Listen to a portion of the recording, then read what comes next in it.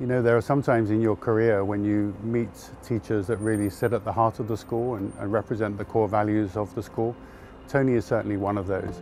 And one of the real impacts I see Tony having uh, is on students' values of service, on the value of giving back to communities in which we, we live and work.